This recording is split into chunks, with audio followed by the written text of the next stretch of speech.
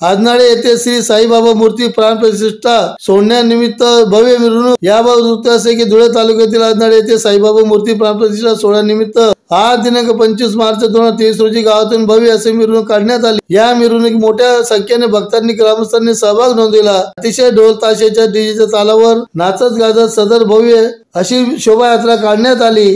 तर दिनांक सव्वीस मार्च दोन हजार तेवीस रोजी मूर्ती पूजन व रात्री आठ ते अकरा हबप श्री गोर श्री गोरक्ष महाराज नासिकर यांची कीर्तन होणार असून या याचा देखील लाभ घ्यावा याचा देखील भक्तांनी लाभ घ्यावा.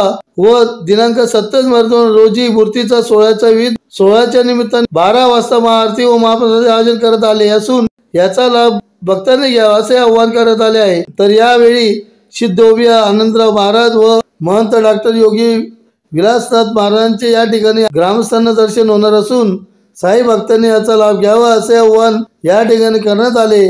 तर यावेळी साईबाबा मूर्ती प्राप्त सोहळ्यासाठी गावातील सरपंच रमेश राजपूत दीपक राजपूत भगवान राजपूत अंकुश राजपूत प्रीतम राजपूत बबलू राजपूत रवींद्र राजपूत विशाल राजपूत चतुर राजपूत कल्याणसिंह राजपूत तवर राजपूत संदीप राजपूत निखिल राजपूत स्वप्नील राजपूत किरण राजपूत श्याम राजपूत सचिन राजपूत दयार सिंग राजपूत आबा राजपूत आदी सर्व सरपंच ग्रामपंचायत सदस्य ग्रामस्थ तरुण मित्र मंडळ यांचे सर्वांचे सहकार्य लाभले आहे.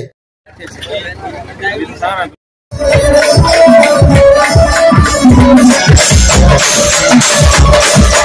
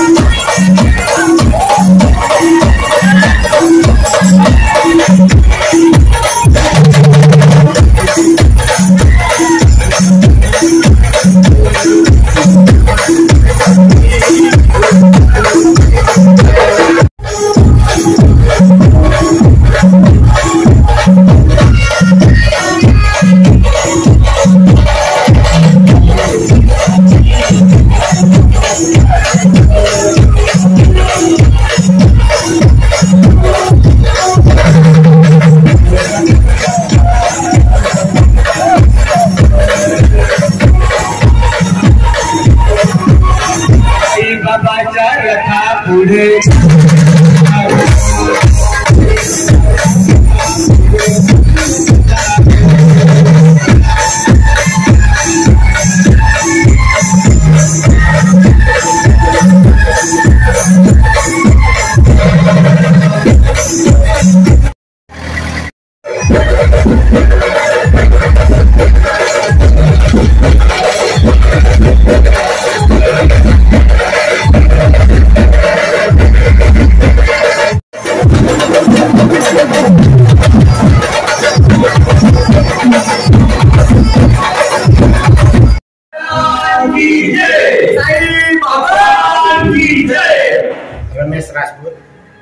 आज जी वास्तू तयार झालेली आहे ही वास्तूला दहा लाख रुपये आमदार निधी बाबासाहेबांनी दिलेले आहे आमचे आमदार ग्रामीणचे आमदार. त्या दहा लाखामध्ये आम्ही सभा मंडप व मंदिरचा जीर्णोद्धार करत आहे. आज साईबाबाची मिरवणूक चालू आहे.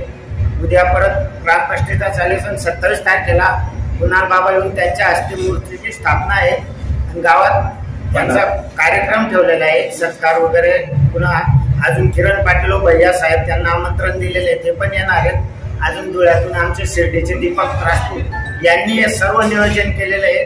त्या नियोजनमुळे हे सर्व पुढे आम्ही चालत येऊन ग्राम गावातील ज्येष्ठ ग्राम ग्रामस्थ पण याच्यात सहभागी आहे आणि सर्व शांततेत कार्यक्रम पडत आहे. सत्तावीस तारखेला पुन्हा बाबा किरण पाटील भैया साहेब यांचा भव्य नागरी सत्कार ग्रामपंचायतच्या वतीने व ग्रामस्थाच्या वतीने ठेवलेला आहे. तरी सर्व तालुक्यातील ग्रामस्थांनी येण्याची कृपा करावी आमच्या ग्रामस्थांच्या वतीने विनंती करतो. आजच्या बातमीचे संपले. पुन्हा भेटूया पुढच्या बातमीपत्रात.